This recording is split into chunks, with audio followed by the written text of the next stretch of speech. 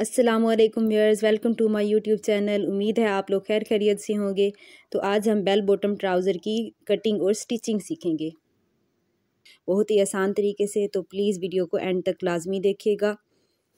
तो चलिए शुरू करते हैं। अब अब हम इस बेल बॉटम ट्राउज़र की कटिंग सबसे पहले हम कपड़े को देख लेंगे। इसकी फ्रंट साइड जो है वो काम वाली है। इस तरह की जो शलवार का कपड़ा मिलता है वो आप जिस तरह से भी मर्ज़ी डिज़ाइनिंग में यूज़ करें, कर सकते हैं। सबसे पहले हम लेंथ माप लेते हैं। चौंतीस इंच, नीचे हमने दो इंच जो है पाँचे का और ऊपर दो इंच नेफे के लिए भी छोड़ दिया। तो इस तरह से हमने कपड़े के दोनों बॉर्डर को साथ मैच करना है अच्छे से और इसकी कटिंग कर लेनी है, इस पीस को अलग कर लिया। अब हमने दो इंच का नीचे निशान लगाना है, जहाँ तक हमने टू पॉइंट फाइव इंच का निशान लगा लेंगे इसके नीचे पाँचे के लिए। बाकी हमने ये चौंतीस इंच लेंथ और ऊपर दो इंच हमने नेफे के लिए जो छोड़ा था उसकी हो गई। नाप यहाँ पर भी हमने दोनों तरफ़ लगा लेनी है सारे निशान। तो इसकी टोटल विथ जो हमने रखनी है वो पंद्रह इंच रखनी है डबल फोल्ड में। तो जब टोटल शलवार कंप्लीट हो जाएगी तो वो थर्टी इंचज़ बन जाएगी। ये निशान जो है हमारे कंप्लीट हो गए।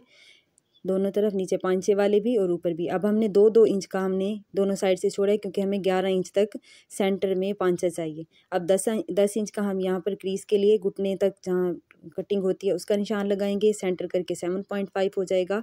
तो ये हमने शलवार का यहाँ पर सेंटर किया था। अब हम तेरह इंच का आसन का नाप ले लेंगे। दोनों तरफ़ निशान लगाएँगे आसन के लिए। यहाँ तक देखें, इस तरह से हम उन्हें ऊपर डबल फोल्ड किया।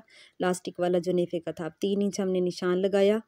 ऊपर भी और तीन इंच हमने आसन वाली जगह पर निशान लगा के इस तरह से इसकी गुलाई कर लेंगे। अब ये सेंटर जो हमने बनाया था यहाँ क्रीज़ वाली लाइन पर, कुटने के निशान पर, ये बिल्कुल हम सेंटर में रखेंगे। साढ़े चार इंच एक तरफ़ और साढ़े चार इंच दोनों तरफ़ हमने करके नौ इंच हमने इस जगह की माप ले ली।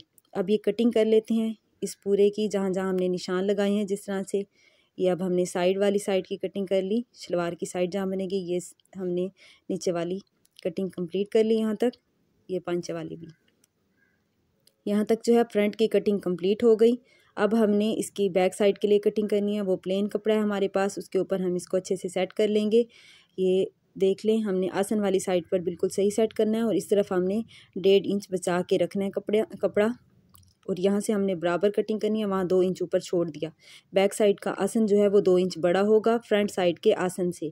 तो ये तरीका मैं आपको पहले भी कुछ वीडियोस में बता चुकी हूँ। तो उसका जो है लिंक मैं आपको सब्सक्रिप्शन में दे दे दूँगी अगर आपने मज़ीद इसको अच्छे से समझना हो लास्टिक वाला या फिर ये कटिंग आसन की जो हम लास्टिक लगाने के लिए करते हैं। अब हम इस कपड़े को इस तरफ़ कर लेंगे, जो हमने डेढ़ इंच छोड़ा था, वो हम दोनों एक तरफ़ करके इसकी भी कटिंग कर लेंगे सेम बगैर निशान लगाए।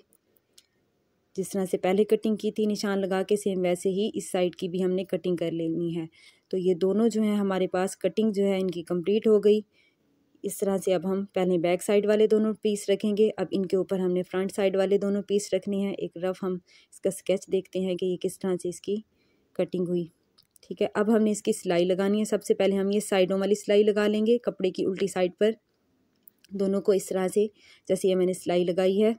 सबसे पहले यही सिलाई लगाई जाती है। इस तरह से इसको सिलाई लगा के अब हमने नेक्स्ट सिलाई जो है वो पांचा बंद करने वाली लगा लेनी है। यहाँ से बिल्कुल इस तरह से दोनों पाँचों की।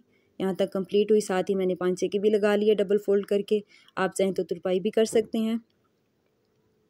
अब हमने ये आसन वाली, इसको सेंटर से पकड़ना है सिलाई को। और यहाँ से स्टार्ट करके ये सिलाई जो है कंप्लीट कर लेनी है। इसके बाद लास्टिक लगा लेंगे। ये देख लें। बैक साइड इसकी बड़ी है और फ्रंट साइड का आसन छोटा रखा हुआ है। तो प्लीज़ वीडियो को लाइक कीजिएगा। थैंक्स फॉर वॉचिंग अल्लाह हाफिज़।